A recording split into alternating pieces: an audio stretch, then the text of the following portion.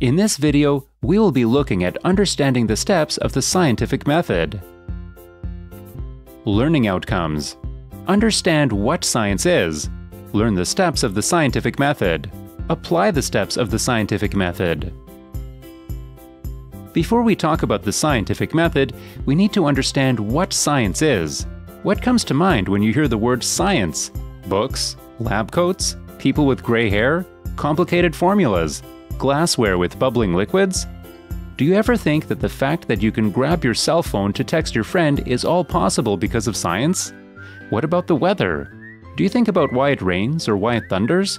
Or perhaps, how is it possible to turn on a switch and get light in a room? Maybe start your car engine. All these things are possible because of science.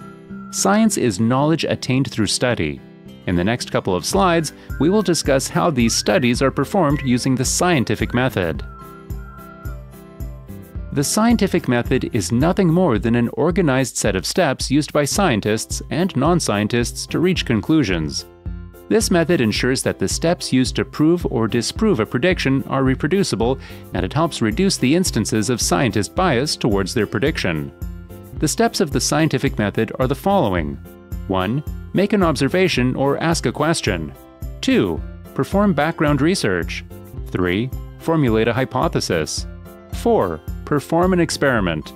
5. Analyze the data, reach a conclusion. And 6. Report the results. Should the data analysis step disprove the hypothesis, the scientist or individual following the steps could reformulate the hypothesis and try a new experiment. However, disproving a hypothesis is not always a bad thing, and those results should also be reported. Let's look at an example on how to apply the scientific method to a medical scenario. We first make an observation or ask a question. In this case, we noticed that a patient has high cholesterol. We then perform some background research. What do we already know about cholesterol? Do we know what causes high cholesterol? Do we know of anything that can be used to lower it? Next, based on what we already know and trying not to repeat what is already known, we formulate our hypothesis. For example, if patients lower their cheese consumption, their cholesterol levels will decrease. We then design an experiment to test that hypothesis. In this case, we can have a number of individuals eat more cheese than others for a set period of time. We then want to analyze that data. What were the results of our experiment? Did the cholesterol drop on those patients eating less cheese? Were the cholesterol levels the same? How did the results compare to the individuals eating more cheese? Once we are done analyzing the data, we can report our results. If we are not satisfied, we can also go back to the drawing board and come up with a new hypothesis to test. The scientific method is not only used for science things, it is used for almost everything in life. Let's look at this non-science situation for which the scientific method is utilized. We first make an observation and or ask a question. Someone robbed a bank. Who robbed it? After asking the question, we then gather all the background information and facts that we can or perform background research. It can be literature research, interviews, gathering of evidence, observations, etc. We want to become familiar with the topic we are looking into as it prevents us from wasting time and allows for a more focused investigation. For this particular example, we can interview people, eyewitnesses, employees of the bank, ask for suspicious behavior, interview customers, review video cameras, establish how the incident happened so that we know where to look for the evidence that might have been left behind or might lead to some additional information. Once we have conducted some research, we will have a good idea of what the answer to the question will or should be. However, we still need to prove it. We need to formulate a hypothesis. Hypothesis is a testable, educated guess based on observations and facts available or gathered through background research. Hypotheses usually take the form of an if then statement. For example, we're going to say that based on the information gathered, it appears that it was an inside job. So, how do we make this an if then statement? If the bank security system was known, then it could have been an inside job. Hypotheses do not need to be true all the time. If after testing it is determined that the hypothesis is not true, we start over and generate a new hypothesis. In order to prove or disprove the hypothesis, an experiment or investigation is conducted. This is perhaps the most important step in the process because it shows that our idea of what's happening is correct or incorrect.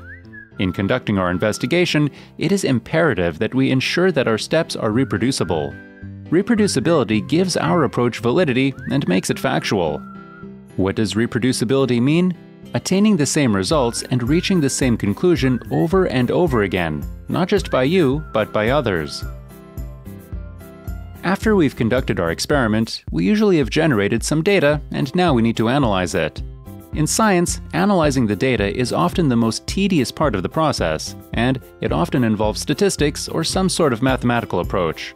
However, there are software tools and statisticians available to help with the data analysis process. Data analysis can be time consuming, but it is the most rewarding part of the scientific method, because it is when we determine what all of our data collection means. Data analysis provides the answers to our question. What's the last step? Sharing the knowledge. It enables others to repeat results, promote additional questions, and subject experiments and results to peer review. Is it important to report negative findings? Absolutely. Sharing negative data allows other individuals to design a variation of the experimental method to try to prove the hypothesis again. In science, publications are really important and are vetted by a panel of scientists that are familiar with the topic being discussed before they make it to a journal. Why do they have to get vetted? We want to make sure that the experimental design and the questions being asked were legitimate and that no bad science is being shared with the outside world, because that would just lead to misunderstandings and misconceptions.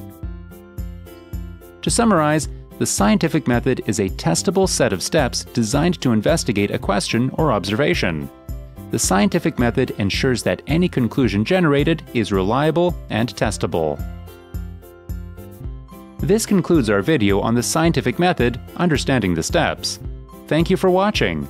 For more science videos to view, please subscribe to our YouTube channel at Ask ASC.